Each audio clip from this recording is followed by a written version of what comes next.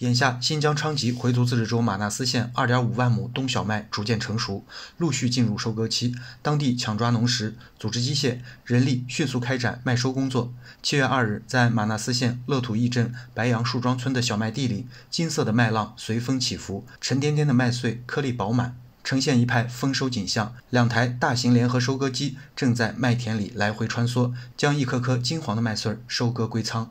二零二零年，玛纳斯县乐土驿镇白杨树庄村村民赵谦通过土地流转，种植了一千八百亩早熟小麦品种新冬二十二号。由于麦播基础好，田间管护到位，小麦长势良好，丰收的喜悦让赵谦干劲十足。加上国家惠农补贴，让他对种植小麦充满了信心。呃，今天正在收割，呃，预计每亩在四百到五百公斤之间。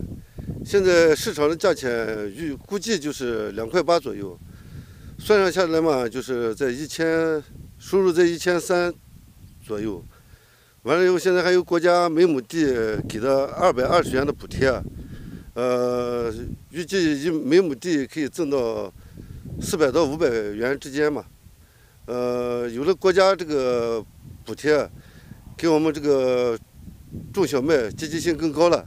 玛纳斯县积极落实国家各项农机补贴政策，引导农民使用现代机械。现在，随着机械化作业程度的不断提高，玛纳斯县小麦机收率已达到百分之百。今年，赵谦加入农机合作社，通过入股的方式投资二百万元购入了一台新式联合收割机。现在作业速度比以往的收割机速度快了最少两到三倍。在赵谦的带动下，白杨树庄村农民马义军也加入了农机合作社。小麦从种到这个采收，这这个过程中全是用这个机械化、机械化的那个管理啊，各个方面都是都提高了。然后到今年这个，呃，小麦的这个产量比往年要好一些，嗯，也提高了这个小麦的品质还有产量，啊，今年的收入比往年要增加了。农业机械化让小麦种植变得更加便捷，而高效节水滴灌的应用让小麦的产量和品质得到了提高。通过滴灌，水分、养分、药物准确输送到作物的根部土壤，可以提高灌溉、施肥、施药的精准度。实现省水、省肥、省药、省工。